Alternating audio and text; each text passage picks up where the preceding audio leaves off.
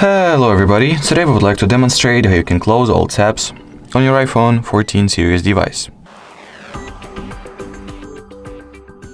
So first of all let's launch Safari, uh, enter the opened tabs list, then all that you need to do is to choose any cross icon that you have on any of your open tabs, doesn't really matter, let's say I'll go with this one, long press at the uh, at the close slash cross icon and in this little pop-up menu choose to close other tab options and then close the original tabs.